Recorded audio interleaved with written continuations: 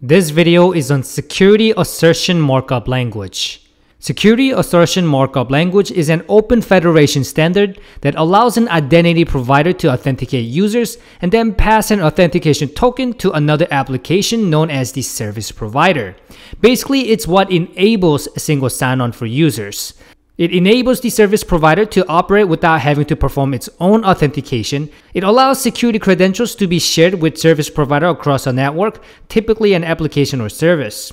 Security assertion markup language enables secure cross-domain communication between public cloud and other security assertion markup language enabled systems, as well as select a number of other identity management systems located on premises or in different cloud.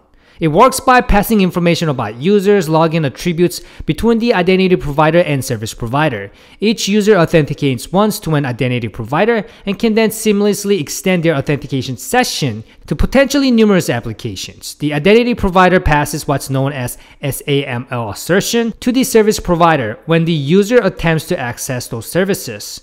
The security provider requests the authorization and authentication from the identity provider. Thank you.